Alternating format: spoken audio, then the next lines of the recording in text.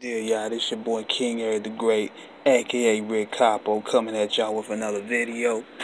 And my question to y'all is, why do y'all think that the Bobby Brown Bobby album didn't really pop off like it did, or like it should? Now the album went double platinum, which was good, considering. But we gotta look at it like this in the 90s, everybody was buying records.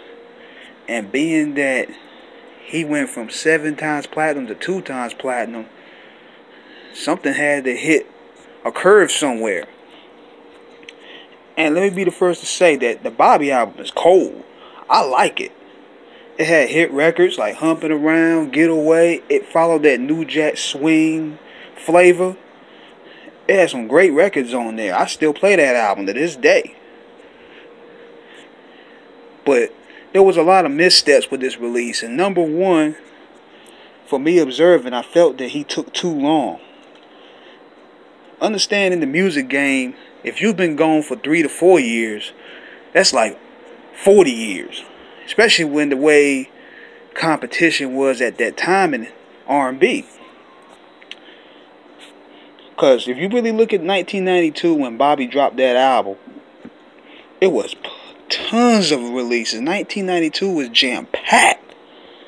I'm talking Jodeci, Mary J. Blige, TLC, SWV. Michael Jackson was killing it with Dangerous. You had Portrait, you had Jade, you had Silk, Brian McKnight, Boyz II Men, Mariah. Prince came back with an album.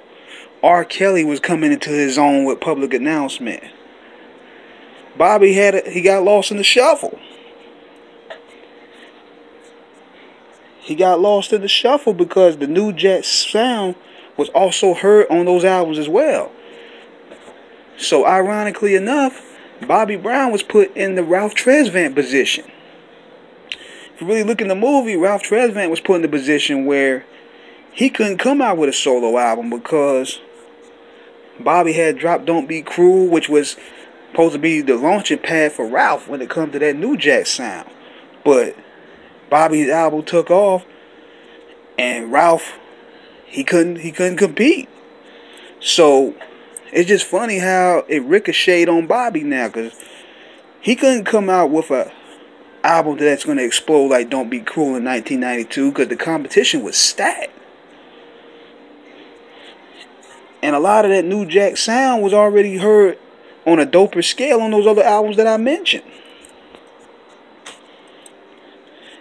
What he should have done was he should have dropped in 1990. Because Don't Be Cruel had ran its course. He had a single out called Tapping My Heart, which he performed in 1990 at the MTV Awards with New Edition doing their solo acts. It was a dope song. It had great reception, but for some reason, the label didn't put it out. Like it just mysteriously vanished. Like you can look at him, he's performing the song, and it's dope. He should have dropped the album around 1990 or 91. That way, it would be a perfect way to pretty much continue that momentum from Don't Be Cruel. But the fame had gotten to him. He had gotten distracted. Not only did he lost in the shuffle, but then he married Whitney Houston. And Whitney just basically took all his shine he started becoming Mr. Whitney Houston now. That's what a lot of the media was labeling him as. Because if you really look at the transition of the first album, Bobby was the man. He was labeled as that dude. That alpha male energy, he was labeled as that. But then he got married. It's like Teddy Riley said at the Breakfast Club. The, the persona kind of changed. Like, people looked at him kind of funny, like, yo, this dude married now. He can't be kicking all that hard, that fly stuff no more. And it doesn't help anymore that his wife is the biggest pop singer in the world. So it kind of did damage to him being married to Whitney in a way because she overshadowed him. So now he was looking like, like I said before, he looked like the B side because she made more money. She her net worth was worth more his star was kind of dwindling at that time. Even though he had the talent to hit records. Plus, he didn't really get involved and focus like he did on Don't Be Cool. That hunger was gone. And even though Bobby was a dope album, but considering all that I listed above, like the competition, Hail Mary and Whitney, he took a little bit too long in releasing his album in a jam-packed year of 92 when New Jack Swing was taking its full swing. He got lost in the shuffle. And his career hasn't really recovered from that at all. So that's where he started like getting indul- indulging with the drugs.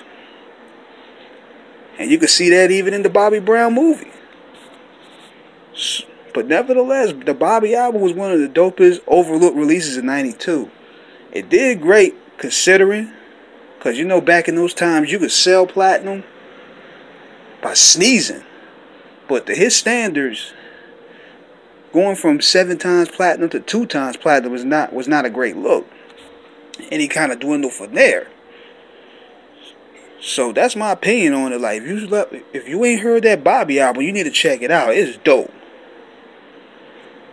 But it could have done better if it was released on time, if it had better marketing. And a lot of people might say if he meet Whitney.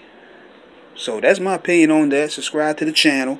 This is King Eric the Great signing out. Holla back.